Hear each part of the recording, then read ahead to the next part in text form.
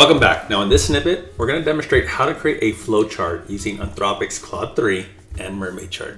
Now, you may ask, what is Claude 3? Claude 3 is the latest version of its AI technology from Anthropic, a competitor to OpenAI's GPT-4 and Google's Gemini. I'm also going to use Mermaid Chart to assist with creating the flowchart from the output of Claude 3.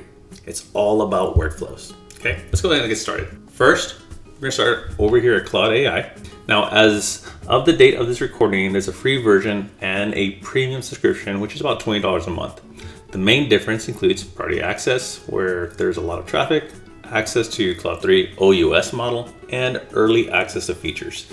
You can enter the following prompt. So here, type in create a flow chart for colon Brazilian Jiu-Jitsu.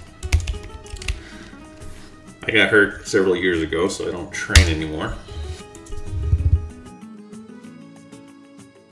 So you can see it generated the code for a flowchart for Brazilian Jiu-Jitsu.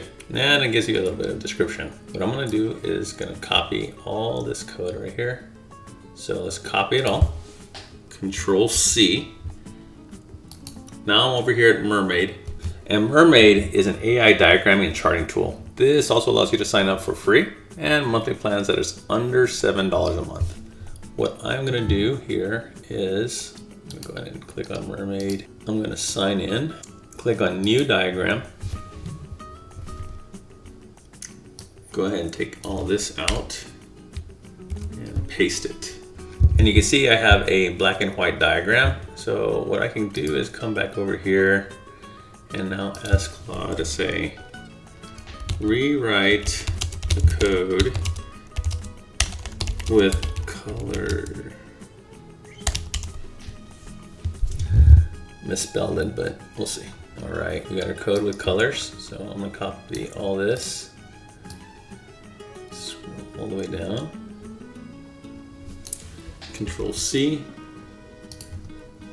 come back over here and delete this. There you go.